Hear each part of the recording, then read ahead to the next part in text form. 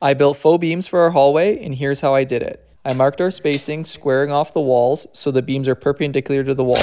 I nailed a 2x6 to the ceiling as backing to attach the beams and ripped 3 quarter inch plywood on a 45 degree angle and then cut them to length. Our ceiling is very round, so I had to scribe the pieces in place for a tight fit. I attached the pieces to the 2x6 and then glued and nailed the third piece in place. A little wood filler and sanding and it was ready for stain. Yank off that tape, step back, and admire all your hard work.